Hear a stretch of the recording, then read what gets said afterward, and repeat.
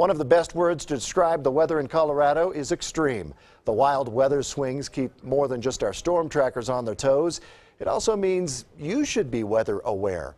New on KRDO News Channel 13 at 6 o'clock. Storm Tracker 13's Jay Polk shows you what you need to do to keep your family safe. By now, a lot of people are probably tired of seeing this. You can delight in knowing that summer is coming, but we'll also be tracking the downside to the warm weather. There will be plenty of lightning, and it can be deadly. We have three fatalities, 11 injuries on average per year. Hail can be quite destructive, and it's also quite common in southern Colorado. That's the most damaging severe weather that we get here because all the vehicles and roofs that get damaged. Flash flooding is a potential problem, especially in parts of El Paso County. And then there's this. Jolene Allsworth grew up in Otero County and remembers the occasional summer twister. We had a few tornado warnings down where, where I grew up at.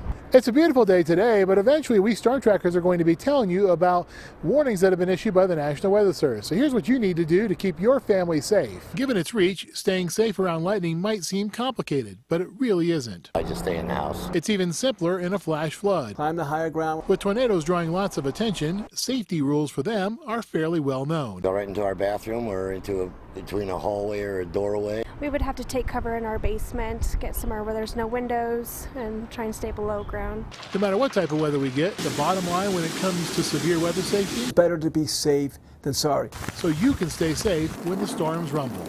In Pueblo, Jay Polk, KRDO News Channel 13. Thanks, Jay. And remember, the best way to stay ahead of the storm if you're away from your TV is to get our Storm Tracker 13 app.